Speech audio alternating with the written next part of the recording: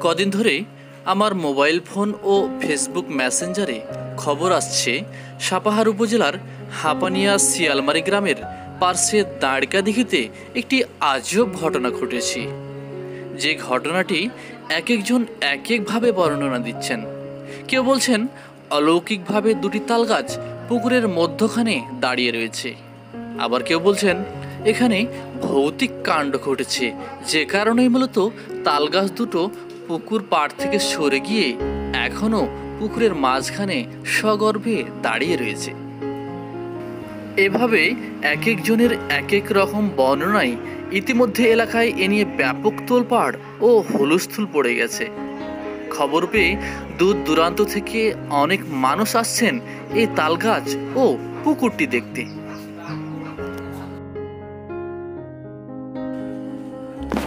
তাই আমরা ঘটনার প্রকৃত রহস্য জানার আগ্রহে ছুটে যাচ্ছি দাঁড়কা দেখিতে। আমরা সাপাহার উপজেলার আলাদিপুর গ্রামের পাশ দিয়ে ফাঁকা মেঠো পথ পাড়ি দিয়ে রওনা দিয়েছি। দাঁড়কার দিঘিটি গ্রাম থেকে প্রায় এক কিলোমিটার দূরে, মাঠের মধ্যে হয়, সেখানে যাওয়ার ভালো কোনো রাস্তা নেই। আঁকা বাঁকা কর্দমাক্ত, আইল রাস্তা ধরেই যেতে হবে সেখানে। বর্ষাকালে রাস্তাঘাটের এমনিতেই বেহাল দশা। তারপরেও আজব খবরে গুজবে সামিল গ্রামবাসীর চলাচল ইদানিং বেড়ে গেছে এই দুর্গম পথে। আপনারা পথের বেহাল অবস্থা দেখেই তা অনুভব করতে পারছেন।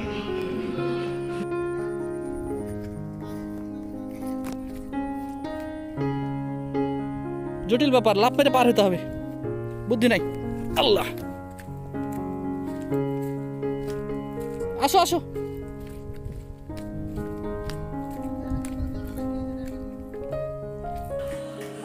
আমরা চলে এসেছি সেই চাঞ্চল্যকর দাঁড়কা দেখিতে। এটি হচ্ছে সেই দাঁড়কা দেখি। আপনারা দূর থেকে দেখতে পাচ্ছেন দিঘির ওই পাড়ে কত লোকজন। পানিতে থাকা তাল গাছ দুটোকে মন ভরে দেখছেন। আসলে কি ভৌতিক কাণ্ড? নাকি সৃষ্টিকর্তার এই এক অলৌকিক নিদর্শন?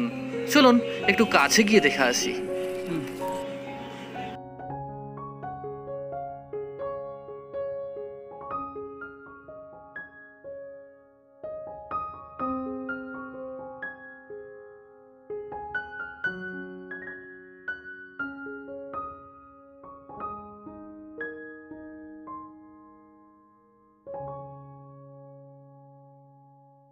ভাই, কি হয়েছে এখানে?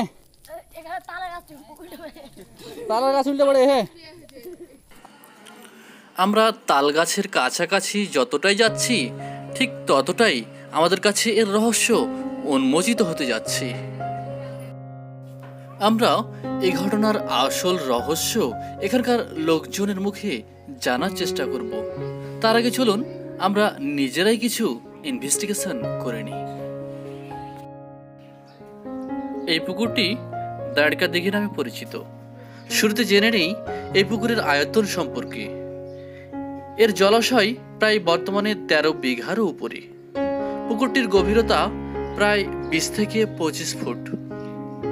শুরুতে যদিও পুকুরটির জলাশয় ছিল মাত্র নয় বিঘা, কিন্তু প্রতি বছর পুকুরের পাড় ভেঙে ভেঙে বর্তমানে এই অবস্থায় দাঁড়িয়েছে।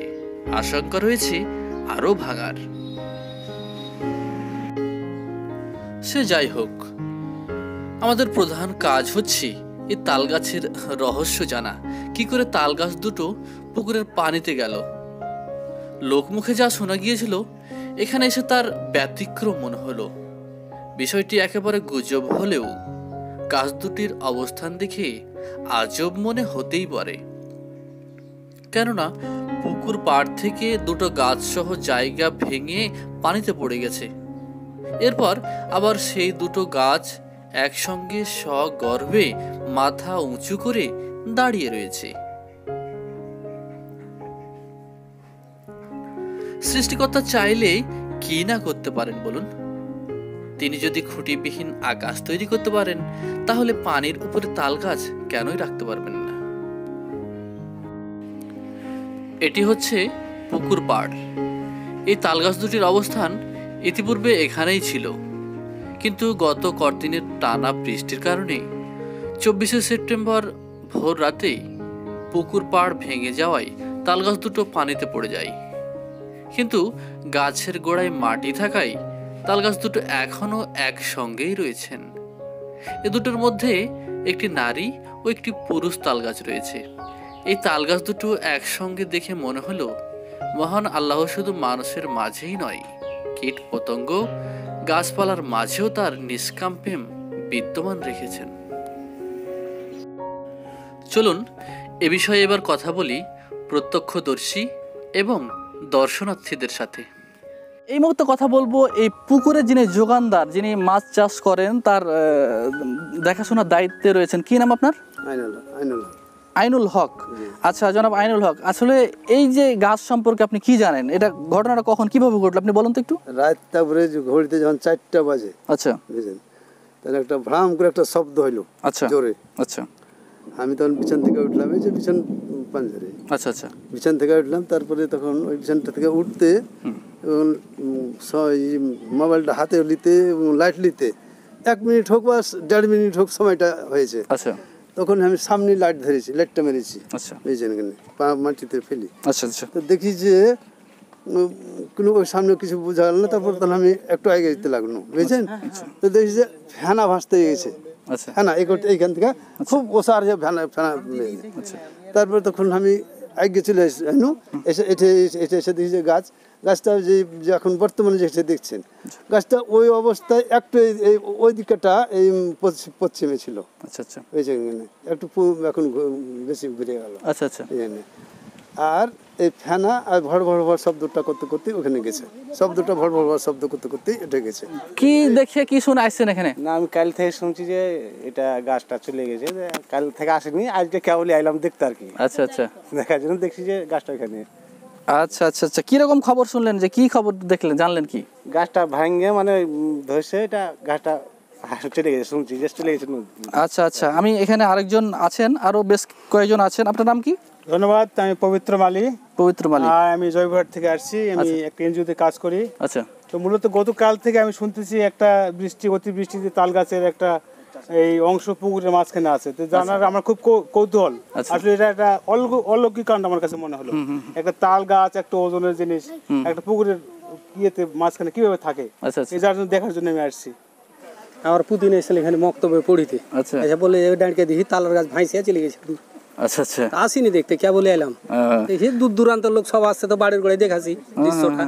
সত্য ঘটনা না মিথ্যা ঘটনা? হ্যাঁ। ওই জন্য আসছি আমি দর্শক এমনই ভাবে আসলে দূর দূরান্ত থেকে মানুষ যে যেরকম ভাবে তথ্য যে যেখানে খবর পেয়েছে হ্যাঁ যে যেরকম ভাবে তথ্য পেয়েছে যে আসলে বিস্ময়কর ভাবে দুটি তালের গাছ পুকুরের মধ্যখানে ভাসমান অবস্থায় রয়েছে যেখানে আহ, মাটির কোনো সংস্পর্শ নেই। কিন্তু আমরা এখানে এসে যা দেখলাম পাহাড় ভেঙে মাটি সহ গাছ দুটো পানিতে দাঁড়িয়ে রয়েছে।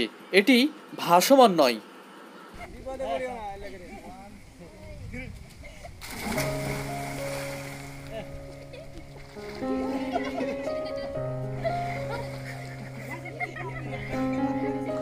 এভাবেই পাহাড় থেকে বিশ ফিট দূরে, এখানে প্রায় দশ ফুট পানির উপরে, এখানে কিন্তু এখানকার গভীরতা প্রায় দশ ফুট। এই দশ ফুট পানির উপরে অল্প একটু মাটির উপরে এরকম দুটো তাল গাছ। সগর্বে এখন পর্যন্ত দাঁড়িয়ে রয়েছে। আর এ দুটো তাল গাছ দেখতে এখানে মানুষ কিন্তু ভিড় জমাচ্ছেন। Salauddin Ahmed, S TV Porsha Naogaon.